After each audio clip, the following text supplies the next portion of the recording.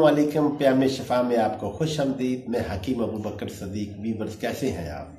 उम्मीद है आप खैर वाफियत से होंगे। आज हम जिस बीमारी के बारे में बात करने जा रहे हैं, वो है दर्द सर बलगमी, यानी कि दर्द सर नजली भी इसको कहते हैं एक मत में। नजली भी कहते हैं। इसकी वजूहत, इलामत, गज़ा, परहेज और इलाज पर बात होगी।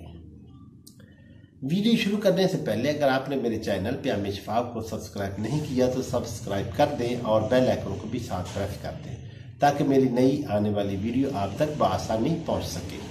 कभी मैदा में बलगमी रतूबात जमा होकर हाजमा को खराब कर देते हैं और रिहा उठकर दिमाग की तरफ़ जाते और सर्द दर्द दर्द का बाहस बन जाती है। बात होगी वजूहत की। बादी, शकील और देर हजम गजाओं का इस्तेमाल कब्ज की दारीना शिकायत, कम चलना फिरना, पानी या बर्फ़ का कसरत से इस्तेमाल करना, ये वजूहत बनती हैं।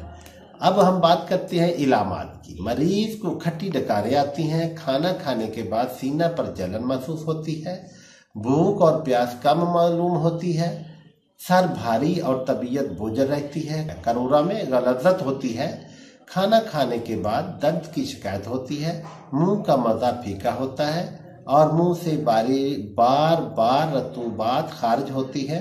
मैदा में करार और रिहा दौड़ती मालूम होती है। भूख की हालत में अमूमन दर्द कम हो जाता है। अब हम बात करेंगे गजा की। बकरे के गोश्त का शोरबा या देसी मुर्गी के गोश्त का शोरबा, हमरा चपाती खिलाएँ। मूंग की दाल अरहर की भुनी हुई खिचड़ी या नान पाव, यखनी, अंडा वगैरह खिलाएँ और अंडे के, और खाने के बाद 10 मिनट चहलकदमी करें।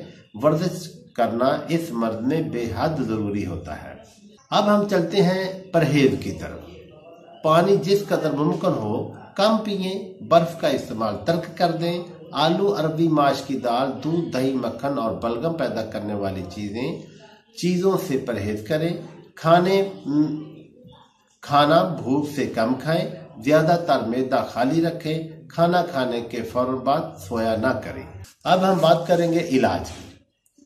नुस्खा नंबर एक ऊद सलीब 10 ग्राम, दाना, लाची, कलाम 10 ग्राम, दाना इलाची खुर्द 10 ग्राम, बालचर 10 ग्राम, दालचीनी 10 ग्राम, लौंग 10 ग्राम जाफरान चार रत्ती गुना शहद डालकर मजूम तैयार करें। निहार मुँह और सोते वक्त आधा आधा टी स्पून नीम गर्म दूध से खिलाना बेहद मफीद है।